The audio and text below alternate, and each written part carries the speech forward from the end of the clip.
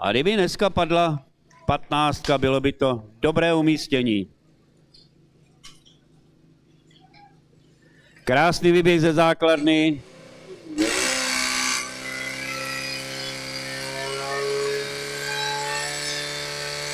Yeah.